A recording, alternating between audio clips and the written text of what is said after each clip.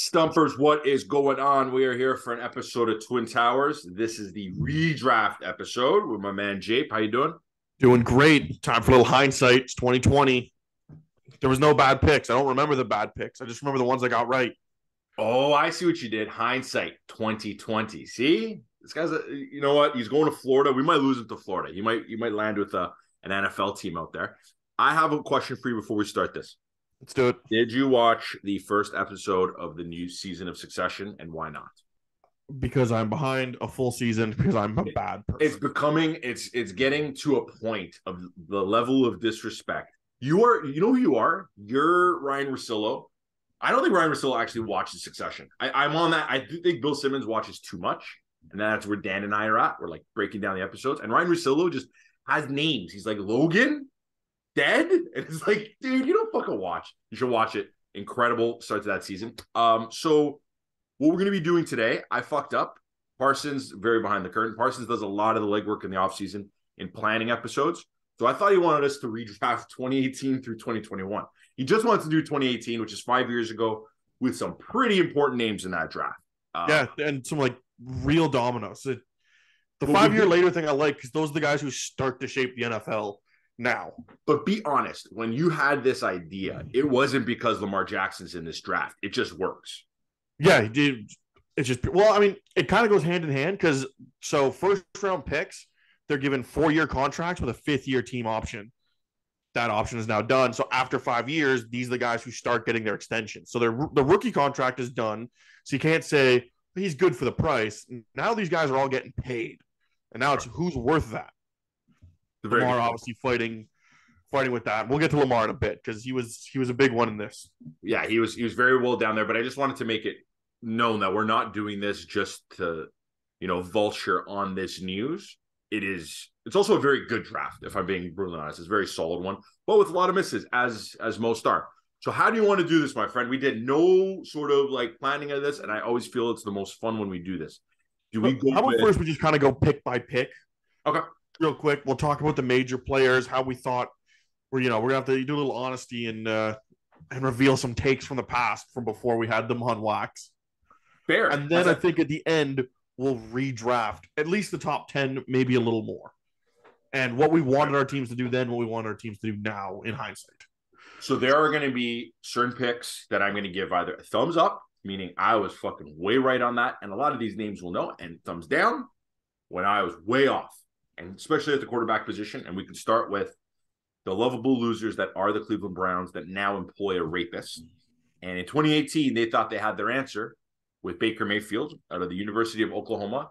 Uh, the beginning of the Lincoln Riley, honestly, success tree. It's the it's the first first one through the door that I can recall. Maybe I'm missing someone.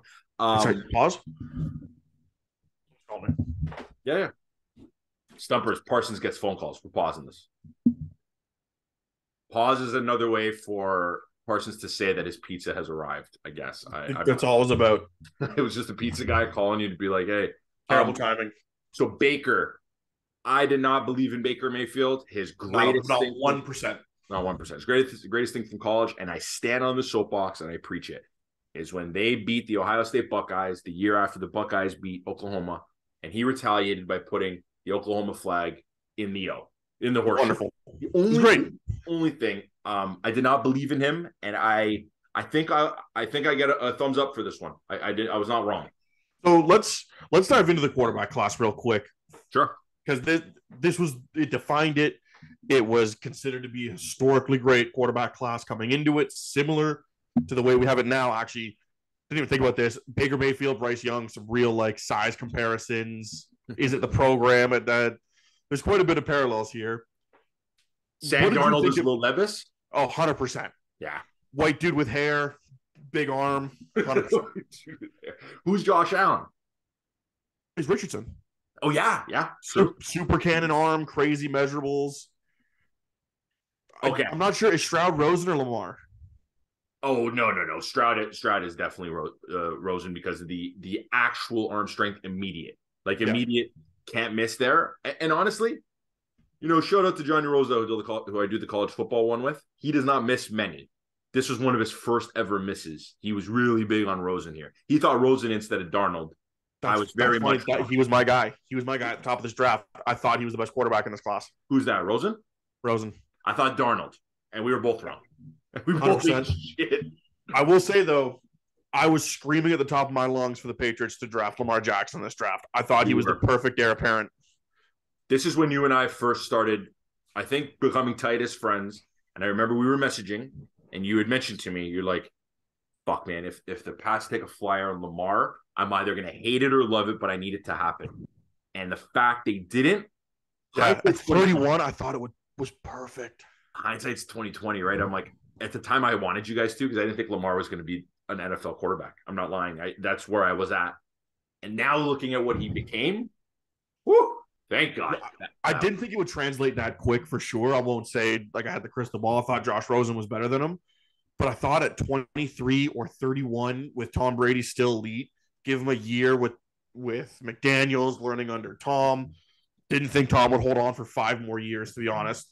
Sure. I just it sure. just it seemed like we were getting a Heisman Trophy winner and like an elite prospect at quarterback at the end of the draft potentially, and it just it doesn't usually line up that way. Can we can we fucking put the cards on the table? Of the five that were picked in the first round, there is one superstar and a guy about as close to the superstar peak as possible in Lamar, right? Josh Allen is the Oh, I would call them both superstars. Okay, fair, fair. So we got two, but the other three are like not historically. They're really, really big busts. D- Darnold and Rosen are absolute flameouts. Baker is a little bit more of a mixed bag. Like I don't want to defend him too much, but like it's not the same kind of like Hindenburg that the others are. Like, Josh Rosen has like half a start. This might have been, you know, and college football heads may put me to shame in the comments one day. This feels like a real Pac-12 draft. Just like scrolling through the draft, there's a lot of USC, a lot of UCLA, and I swear when drafts turn out to be really Pac-12 centric, it goes one of two ways: very busty, and the fact both these quarterbacks are from there makes makes it all very true. Very busty or like sneaky good. And this felt felt like very overhyped Pac-12. Yeah. Either USC or UCLA won the national title. We were just very oohed and awed by white quarterbacks with nice arms. I, I I loved where the Browns were too set up because I thought Bradley Chubb and Quenton Nelson were like generational talents. And I was like, they can get Chubb at one and Nelson at four and like just have the dirtiest trenches in the in the league and then go get the quarterback the next year. And they went for the sexy spots. I always thought they went quarterback one, four. I would have went something in something nasty. You know, Chubb or Nelson would have worked. I agree. I, I thought Nelson was the best player in the draft by far. I, I was over the moon with him. He's still the best interior lineman I've ever seen in college. Roquan, I think Roquan, if, I, if I'm not mistaken, anyone anyone that, that knew me in this era, and there are some people that I know that follow this pod specifically, I don't think I was higher higher on anyone than Roquan Smith. I feel like Roquan was the winner, and it's the Georgia bias. It's that incredible middle linebacker, and they've had a few since then. Yeah. Right? They it's it's become a bit of a factory. Maybe there's another name if I scroll. Derwin James, I was high on. I was very high on. Oh, Derwin. Der- Derwin was my number three, probably. Chubb, Nelson, and Derwin were the guys I loved. we, we won't jump too far down. We'll sort of stay on track. So Yeah. of the of the top ten, you thought Brown should have went Chubb Nelson, and hindsight's twenty twenty. Would that have made them? Yeah, I think the Browns are in a much better situation if they went that route. Was Myles was the year before, right? Not the year after. It was the year before. Yes. Okay, yeah. So the plan kind of would have depended on them going to get a better QB or sucking hard enough to go get Kyler the next year, I guess. right, right, which is hard. Which is which is a hard wait. Colts, I just Colts thought might be in I just didn't like any of these quarterbacks, and I thought Nelson and Chubb were like generational. Chubb never quite lived up to it. Quenton's had a down year, and he was dinged up last year, but his rookie and sophomore seasons, he looked like the best guard of all time. He was murdering. Yeah, this might. Hopefully, this is just a blip because the Colts Yeah. paid. But like, there's there's no uh, free agency coming up for him anytime soon. I still have big faith. Like I said, I think he's the best guard I've ever seen in college. We sort of touched on the QBs, we touched on the Browns. There's a real elephant in the room. And I am going to take my fucking victory lap while carrying my flowers. Saquon Barkley will be the last running back drafted this high. And maybe I'm not, has to be, right? has to be. And I was so out on him. mind you, I do have a Big Ten bias against three schools, and conveniently, he They're all called Rape State. they're all called rape State. He fell into that category, and trust me, I ate shit for the first year and a bit. He looked I was Out of this. off the entire time. I'm with you, and I, and I, unlike you, was super in on Zeke. I thought Zeke was yeah, I was opposite. like a super can't miss. I never liked Saquon because, and the same problem he had up until this most recent year, it's all or nothing with him. And I just don't think that's the best way to play running back in the NFL.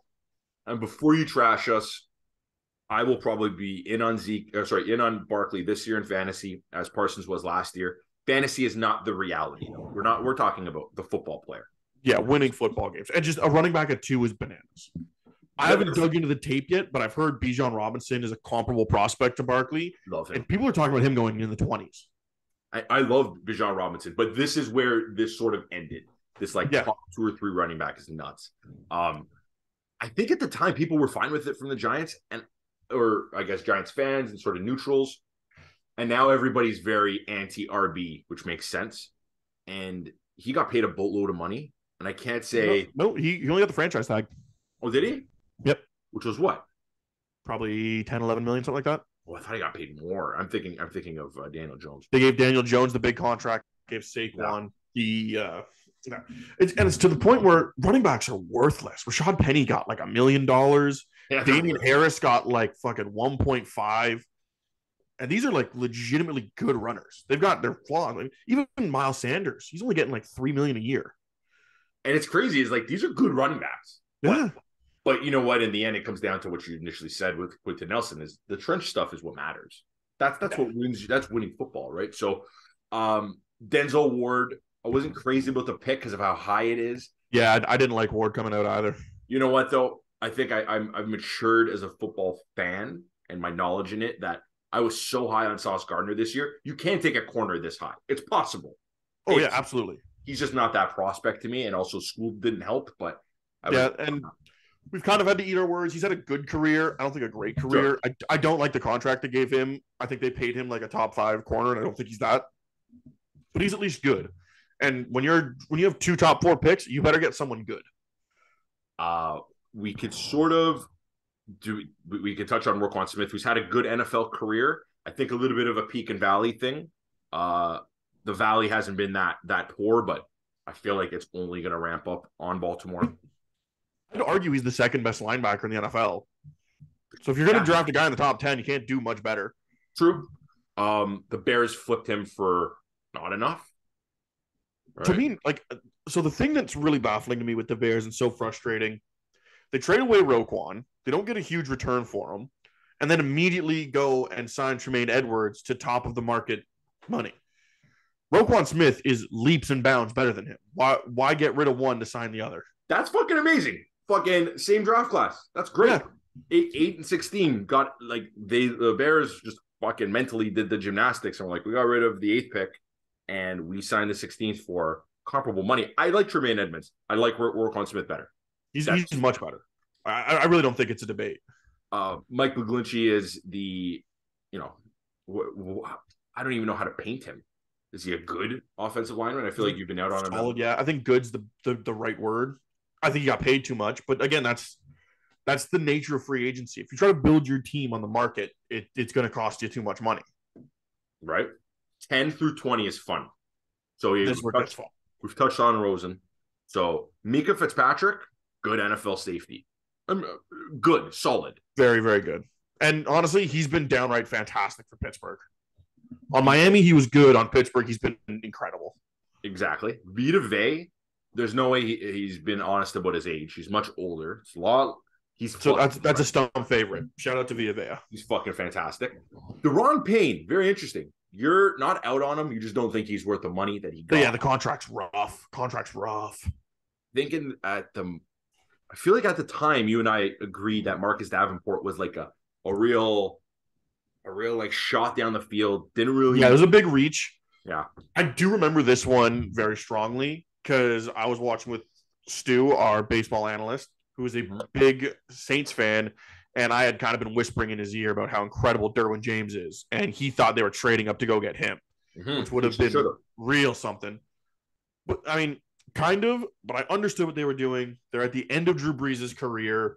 They're pushing all in for a Super Bowl right now, and the one thing the team is missing is a secondary edge rusher aside Cameron Jordan.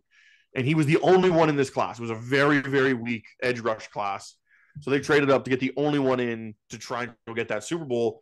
And if not for the worst missed call in NFL history, they might have got it. They're right there. And they, they needed Marcus Davenport to do it. So I, I do think this is the right pick in hindsight, even though he's not the best player. Okay, like just quick guess. How old is Cam Jordan? 34. He's he's been around. 33. I, I I swear he feels older. Yeah, he feels like he's been around since like 2005. Yeah, so the fact he's he's lasted the tail of time. Kolton Miller, not even sure. No idea. Uh, he had a big uptick last year. He looked a lot better. Okay. Hasn't been great though, but that's kind of what you want. I mean, I think he's on a more friendly deal than McGlinchey, so that's a thing. Uh, and then a solid 16 through 19, in my opinion. Tremaine Edmunds, who we just mentioned, good NFLer drafting at 16. That's not a bad spot. Derwin James, I feel like is actually he's underperformed my expectations. Can't stay healthy. But yeah, which is wild because he's been like top five safety in the league. But, But I, I'm with you. I, I thought this was dude was incredible. yeah, he's he. I, I think I just I probably overhyped him in my brain. Um, That, that was also just a really fun era in Florida State football. Like that that range from like 2015 to 2018 was really fun. yeah, they ate shit literally this year or the year after. Yeah, it just fell apart. Uh, Jaire Alexander, who has turned out to be one of the better shit talkers in the NFL, but a solid, solid cornerback. I think a lot of people have him ranked higher than I maybe do. But he Uh, is he is fantastic.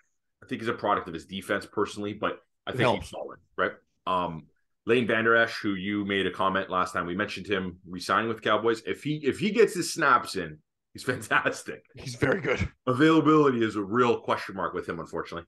Um, anything in the late or early to late twenties? Anyone you want to flag? I see a couple names, but I'll, I'll let you. Not so much a person, but Rashaan Evans also goes as a linebacker, which by my count is the fifth off-ball linebacker in this draft. Already, or sorry, fourth. But that's four off-ball linebackers in the top 22. I think that's also done. dead. You're right, dead. If Nakobe Dean comes out in this class, he probably goes 10th overall or something like that. I, I just don't think that they understood the value of that position yet.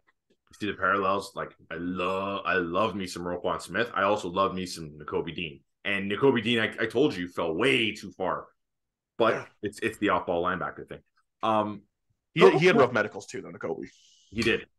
Couple cool wide receivers in in the 20 zone. Uh I'm gonna say two fun ones. DJ Moore. We're really gonna know what DJ Moore is this season. This is gonna be a real indicator what, what he builds, right? What, what he builds Yes. wise. I think he's solid. Everyone really likes him. Um Calvin Ridley had a fucking peak. He had a peak there where he was This is another one where we're going to really find out who he is. Yeah, but He's going to be the unquestioned number one with what most people agree is a superstar in the making quarterback. You're going to get all the targets you can handle, man. Like help this is your chance to go get 1800.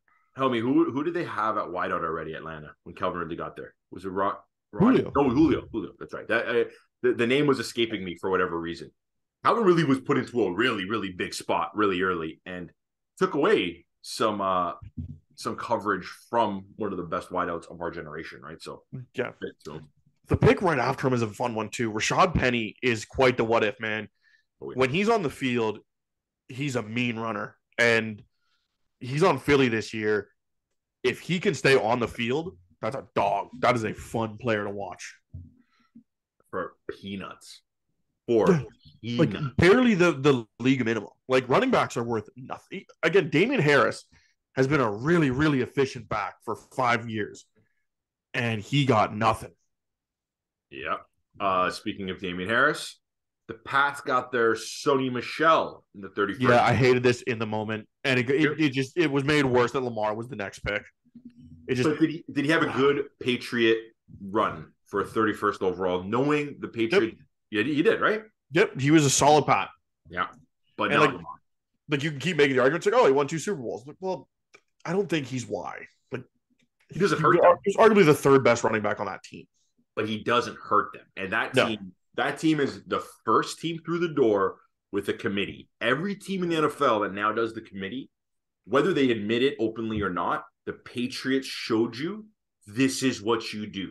You get that. At the same time, I thought he was the second best running back in his backfield drafted in this five picks. Okay. Like Nick Chubb goes four picks later, and I thought Nick Chubb was almost as good as Saquon. Okay, so if I'm going to be honest with you, the fact they came from the same backfield, I I will, I would be remiss. I'm probably one of the biggest Nick Chubb, Chubb fans you'll ever meet. Thought Sony Michel was a better running back. I did, I did, I I, I sipped the juice. I did, and I believe you. Nick Chubb gave. I know this is gonna sound really fucked up. He gave like fullback ish vibes but it, it, it turned out he has elite speed. He can fucking read the field, yeah. and it doesn't hurt that where Nick Chubb went to play football. Let's never forget that. Where of he course, went, unreal right? line. I I really like broken tackles translating from college to the pros. I think that does better than making people miss. I okay. don't think guys run past you as often as they do in college. But if guys get their hands on you and you can still just power through it, that I think translates a little better. And this again goes so strongly to why that number two overall pick is so bad. It was the same in the Zeke year. Pre-draft, if you asked me, I would say Zeke is a generational talent.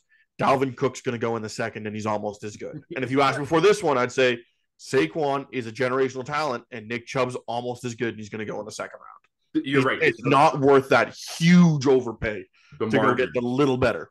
Yeah, the mar- the margins are close. Listen, I, I also was a fan of Kerryon Johnson out of Auburn who went 43rd. Didn't really have much of an NFL career, but I think if you compared collegiate stuff, he was very close to Saquon as well, right? It, I think it. This is going to sound like such an SEC thing to say before we do the top 10 redraft. Coming out of the SEC as a running back does hold more weight because I feel like you are facing more professionals on defense yes. consistently. And those are the arm tackles you've got to break. There's no coincidence why these two guys got drafted so close. They must have just been coin flips I just love Nick Chubb so much now at the pro level. I feel like a dummy, but I feel like Sony was was just fine. And the Super Bowls or whatever, it's a team, it's a team award, but give him credit. Um, biggest miss of my draft, and he's a Patriot now. And this may change. It's Mike Gesicki. I had such high hopes for Mike Gesicki. Out of that school, for me to plant the flag for him, I was so Something. big. On... No. Pardon? That's that's big for you to, to be back in the Penn State guy. I, I was very very big on Mike Gesicki. I did. I was in a dynasty draft that your buddy Clarky kicked me out of. I had I traded a bunch of picks. No, no, actually I traded Saquon for a bunch of picks from Joey, and I took Gesicki in like the third round. Never panned out. But I I've been wrong. He's starting to pan out though. That's the thing. The, yeah. I think drafting a tight like it's we're going to talk about this a lot in the coming weeks because everyone is all about this tight end class, tight end class, tight end class tight ends fucking suck coming into the league. Mm-hmm. Like if you look back on the first round tight ends of the last like 10 years, it's awful. They're all busts, and the ones who aren't take four years to become something. It's They're a like grown bigs. man's position. They're like bigs in the NBA.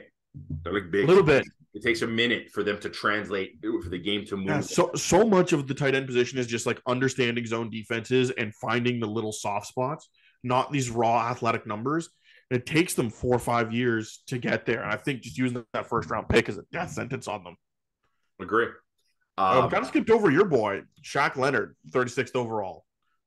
Again, another off ball linebacker. And fucking great. Man, Shaq Leonard, Roquan Smith, Fred Warner's coming up in like the fourth round, I believe. Oh, what a hell of a linebacking class. Oh, yeah. Tremaine Edmunds, too, who I'm not a fan of, but like he's a productive player we can argue Warner, Leonard, and Roquan are three of the best. Is that one, two, three? It's a fair case. It's a it's a tough case to dispute, to be honest. Who are we missing? Matt Milano's great. No. Uh, I feel I feel like there's a big one that I'm forgetting for sure. There is, there Honestly, is. like if you want to tell me that's the top three, it's that's fair.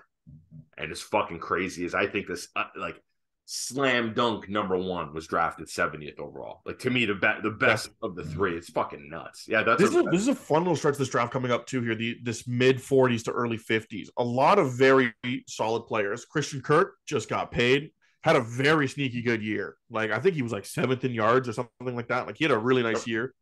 Dallas Goedert at 49 to the Eagles, emerging again as one of the better tight ends as he's finishing up this rookie deal. Yep. And a real sleeper, Jessie Bates, on the move now. I believe he's down in Atlanta. Uh, he got paid. Safety. He got paid. Yep. yep. That's going to be a theme in these, right? That's that's that fifth year. Yep. That's right. He, At the end of the first round, DJ Chark and Brian O'Neill, both Pro Bowlers, both had great runs.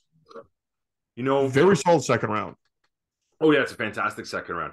I think it's very funny though, like to beat on your tight end thing is the Eagles drafted Dallas Goedert when they already had a tight end in in the building. Just goes to show having depth there, and you can draft later. They had Ertz already. Yeah, you know it's it's a very rotate ro- like rotational position, and you can flip them. And I, I I think you like don't want to pay really. Like you don't want to give these guys big money. that's what the Pats are doing, right? The Pats keep going with this tight end prove prove it deals. But the John problem is they did give the tight ends money and it was a disaster.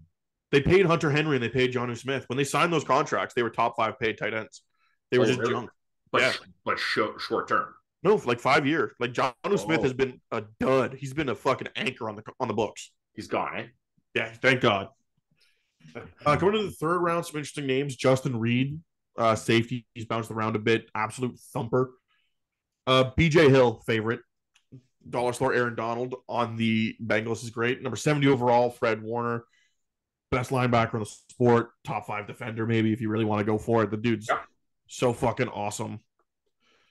Uh, Sam Hubbard, another Bengal. Uh, they really loaded up on this draft. Then that kind of makes sense why five years later you're really good. That totally Eighth makes third sense. overall, another current Bengal, but drafted by the Ravens, Orlando Brown. Just an absolute monster of a human. in the com- in the coming episodes, we got to get into the weeds about Orlando Brown and how I feel like he's a little bit overhyped. I think PFF, I feel like PFF is a little bipolar with regards to him. They're in and they're out. They're in and they're out. We won't get into it today, but he is a name I have like circled for down the road discussion points. Then three picks later, that same Ravens team gets Mark Andrews. Really, really monster when he's on the field. A little bit of injury trouble the last couple of years, but when he's out there, Pretty fucking sweet. You get your quarterback and tight end combo from the same draft, eh? yeah, what like man. Plus Orlando Brown, who played left tackle for several years. Talk about a fucking draft. Yeah, that's massive. That, that's actually really, really. That's how teams are built, right? That's the reality. Absolutely. Wyatt Teller's in the fifth? Uh, Josh Sweat for the Eagles in the fourth. So a fairly deep draft. Uh, Wyatt Teller, what a fucking steal that is. That dude's as late as that is, right? Yeah, as late as that is, that's insane. And then the best player the Pats got in this whole draft, J.C. Jackson, undrafted out of Maryland. Unbelievable. Good for him. And the fucking Chargers paid that boy. Not good for them. No, eh, fuck, that's the reality of it, right? You're you die for the the skill position. So we got we got nine left on this. So we're gonna we're gonna break down the top ten on our redraft. We'll try to meet in the middle on some of these. Yeah, we'll redraft until we feel like the names aren't interesting anymore. Okay, go go with your your. Uh, uh, this is always the rule thing.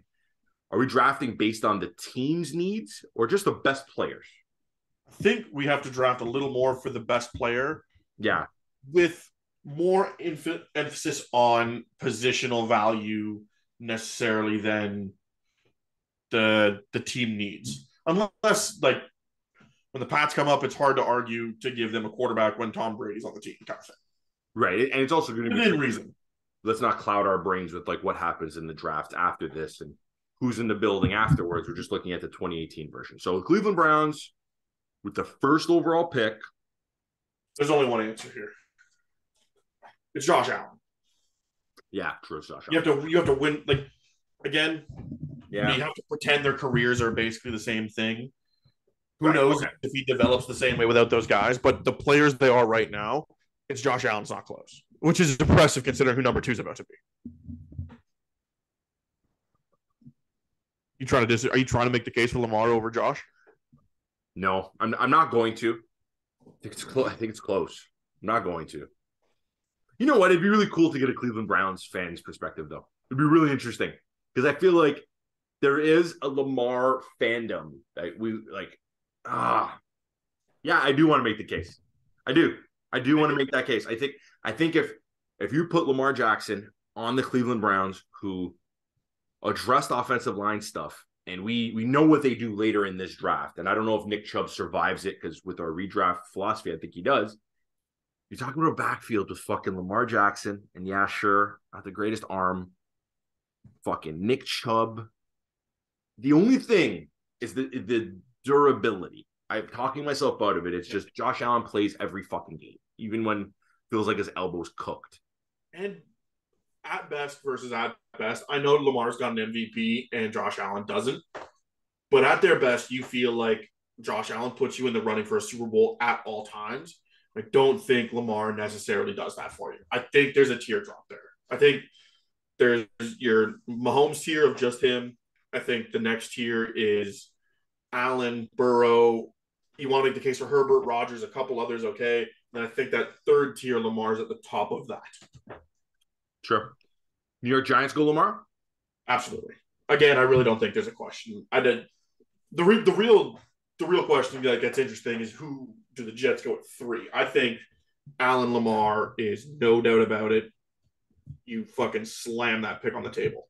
I think I, I think the Jets would would address because this is also based on building a team our way in the trenches. I think you go, you know, Pro Bowl Pro Bowl guard. You go Pro Bowl guard because off ball linebacker. I know never really gets you out of bed. Do you not go Nelson? Do you not go Nelson at three, knowing what we know? And I know there's been a dip, or is there like tough? I mm-hmm. guess so. It's it's Nelson. It's Fred Warner. So so off ball linebacker at I, I, feel like you would have jumped down my throat if I said Fred Warner at three because I I feel like Fred Warner is. I'm just, I'm just, I'm just like spitballing the best players. Derwin James, Bradley Chubb, Bradley Chubb, Roquan. Is it Jaire Alexander? Is a top five corner that guy? Sure, he's top five corner. I don't know that that Jets use number three there. You know the quarterback hungry Jets, and there's not another quarterback we'd be willing to throw in the mix. I think it's probably Chubb. Okay, I, I I think the edge rusher probably gets gets the edge here. I could give that to you, and then do the Cleveland Browns shore up their offensive line even more with Quenton Nelson? So. Yeah, right. You just, you the, just got the the superstar quarterback. You you lock that shit up. Team philosophy, and you end up with Wyatt Teller late in the draft, and it's like so, oh, at that point. Something we kind of just glanced over. Very weak wide receiver draft. There's some good ones. No, but it's, it's DJ Moore and then Calvin Ridley, who was like 24, 25 when he came out. Like he's a he's surprisingly old. Yeah, agree. It's, it's not a great one. It's it's a good one. Yes. Broncos at five. five. So now we've gotten past the valuable positions for the most part. I think I slammed my foot down with like a like now knowing what we know is a Vita Vea now knowing what we know. Oh, interesting. Do you t- no? You don't take the run stopper over some of these other guys. Do you don't st- you don't take the run stuffing nose tackle over the top corners or the safety? Do you? I think I do. I think I do. I think I I, I more slam my foot down on Vita Vea to another off ball linebacker. I, I, can get into a conversation with like a corner. I think I take Vita Vea over Roquan here for the Broncos. Um, it'd, be, it'd be Fred, not Roquan. I think Fred would go first, right? Of the of these guys, right? Because Fred's not gone. Yeah, yeah, yeah. Fred's not even gone. Yeah, yeah. True, true, true. So yeah, I think, I think I would take Fred over Vita. I think I would take Jaire. I think I would take Jaire over Vita. I think I would take Derwin over Vita. Like I, I you know, I love me a trench guy, but I just feel like that's not as best as valuable. As much as I do love the guy. Yeah, so I I, I disagree. I think I think for a guy like G- Jaire Alexander to be as successful as he is, they need a fucking nose tackle as good as like a Vita Vea type thing. When I say that in a vacuum, is I think. But who I was gonna say who's the who's the defensive tackle on Green Bay? That's I know, but I, I, believe Green Bay's front seven is elite, and although they struggled this year, I don't think Jaire Alexander was he as good this year as he was in in past. Was he? Yeah. Remember he came back and turned uh, Justin Jefferson into That's a pumping. right. Yeah, that's right. He's a top shelf corner. But he also got fucking shoot out by Justin Jefferson uh, earlier in the year, right? Like there. No, he didn't play. He didn't. Week one. I believe so. Definitely. We go Jaire here. I I I don't love it, but we can go Jaire. I think I think it's him just because the corner is probably the guy you want over the nose tackle. I think. Okay. Jaire. Jaire at five.